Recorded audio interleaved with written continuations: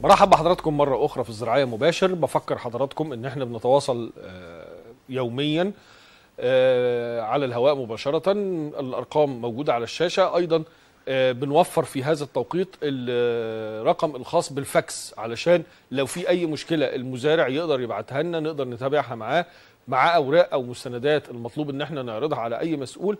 عندنا رقم الفاكس الخاص بالقناة. هنكتب خاص ببرنامج زراعي مباشر وتبعتوا لنا أي مشكلة محتاجين إن إحنا نتابعها لكم. في بداية هذه الحلقة إحنا بنتكلم على التعاون الزراعي ومع على الهاتف المهندس عز العرب أحمد سلامة رئيس الإدارة المركزية للتعاون الزراعي. برحب بحضرتك. الله يبارك فيك يا فندم. مرحبا يا فندم. بشكرك على هذه المداخلة. التعاون الزراعي حضرتك توليت المنصب ده من فترة وإحنا كان لينا مداخلة معاك. وعاوزين نعرف بقى إيه الجديد؟ يعني إيه أو أو نتكلم على الملف اللي المفروض إن في هذه الفترة بنتابعه. بعد آه، تحريك سعر الأسمدة المفروض إن هي تبقى متوفرة في الجمعيات. دور التعاون في متابعة ملف الأسمدة داخل الجمعيات أو التعاون الزراعي.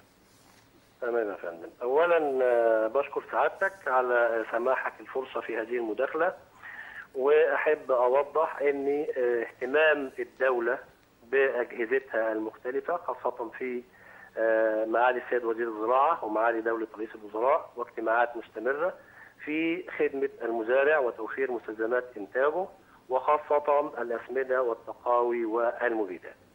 آه، لغايه امبارح كان في اجتماع باللجنة التنسيقية للأسمدة برئاسة الدكتور عباس آه، الشناوي رئيس القطاع واستعرضنا جميعا حقيقي موقف آه، توريد المصانع للأسمدة والحمد لله بعد بعد ارتفاع أسعار الأسمدة بدأت المصانع تضخ لكن آه، كان قبل منها في فعلا آه، فراغ آه، بسيط في أرصدة الأسمدة بالجمعيات.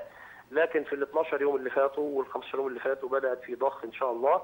وخلال أسبوعين أو أسبوع قبل انتهاء الموسم الشتوي بمراحل كبيرة أو مدة كبيرة هتكون كل الجمعيات الزراعية متغطية بالأسمدة اللي محتاجها المزارع وبتتوزع بالأسعار المحددة والمقررات المحددة آه، للزراعات المختلفة وحسب نوع المحصول. تمام آه، حضرتك النهارده برضو في اندفاع قوي جدا جدا جدا وأنا بناشد جميع آه، الشعبيين والتعاونيين وأصحاب التعاونيات الجمعيات التعاونية والمزارعين بانهم يستغلوا فرصة النهارده في وقوف الدولة بجميع الأجهزة بجانب الفلاح وتقوية وتطوير والنهضة بالجمعيات التعاونية الزراعية لأني أنا آه، بقالي 32 سنة خدمة في العمل التعاوني كحكومي. النهارده لقيت في آه، بجد تشجيع جدا من السادة المسؤولين والسيد معالي الوزير وزير الزراعة ولتطوير والنهضه بالتعاون الزراعي لمصلحة الفلاح طيب والفلاح البسيط. فكرنا إيه كدولة علشان نطور التعاونيات إحنا بنخطط الفكر لإيه النهارده الفكر اولا يبدأ من أن المزارع لابد وأن ينتمي إلى جمعيته ويعرف أن هذه الجمعية هي بيته لا دخل لأحد فيه بل الدولة بتقوم بتدعيمه بجميع الأجهزة الفنية والمالية والنصائح والإرشاد وإلى وتوفير مستلزمات الإنتاج فلازم يستغل هذه الفرصة لأن أنا باجي لك بيتك أهوت يا فلاح يا مزارع أنا باجي لك بيتك وبقدم لك هذه الخدمة فاستغل هذه الخدمة. طور معايا. ما تقفش مكتوف الأيدي ما تهربش مني ما تجريش مني بره بل ده بيتك وظف فيه صلح فيه ابني مخزن ابني جمعية طور آه، ازرع اعمل مشروع. يا فندم آه، السيد الرئيس آه، عدل بقانون التعاون الزراعي رقم 122 لسنة 80 من سنة 80 ما كانش حصل فيه تعديل لغايه من 81 لغاية النهارده. اتعدل بالقانون 204 لسنة 2014 وادى حرية كاملة للجمعيات التعاونية الزراعية إنها تنشئ شركات وتنشئ مصانع بينها وبين بعضها أو تشترك مع القطاع الخاص في إنشاء مشروع في مشروع وشركات بما لا يقل بما لا يزيد عن 25% من رأس مال مشروع القطاع الخاص والقانون ده برضه حضرتك آه، حافظ على ال- الجمعية والقرار بتاعها ومجلس إدارتها مش هيكونوا هم مشتركين فيها كقطاع خاص ولكن كمساهمه كل ده فتح مجالات كتيرة جدا أن تنهض التعاونيات في استغلال موارد مواردها وموارد أخرى لعمل التوازن الموجود في السوق النهارده. صح سعادتك النهارده الجمعيات التعاونية الزراعية أساس كل تقدم في أي قرية والمفروض إنها تبقى منارة موجودة في القرية المصرية بتقدم خدمة اقتصادية واجتماعية وثقافية للمزارع.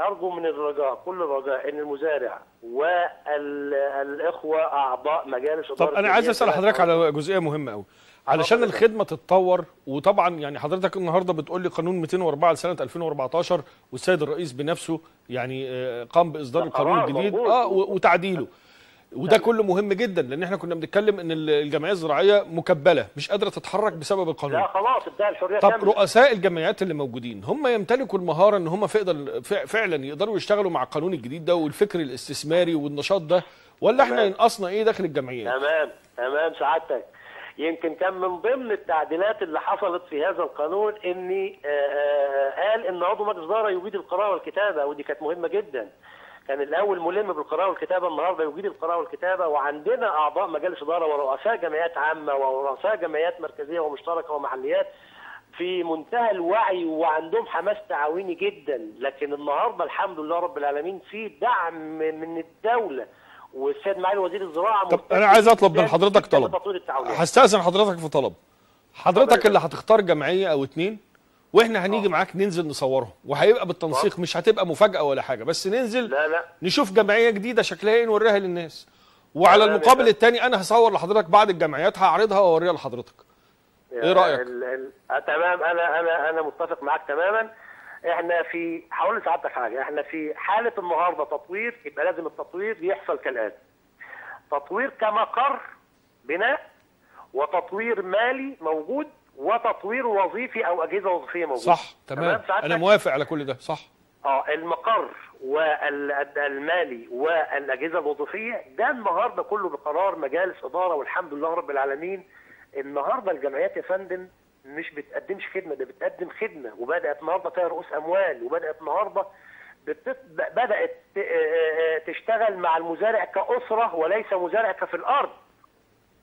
يعني أنا بقدم له النهارده خدمات زراعية بحتة في توفير مستلزمات إنتاجه بقدم له تاني خدمات اجتماعية لأسرته من خلال مشروعات معينة ومن خلال توفير سلع معينة محتاجه كأسرة وبياخدها بالتقسيط أو بياخدها بال ما هي دي بقى المشكلة اللي الفلاحين قالوها.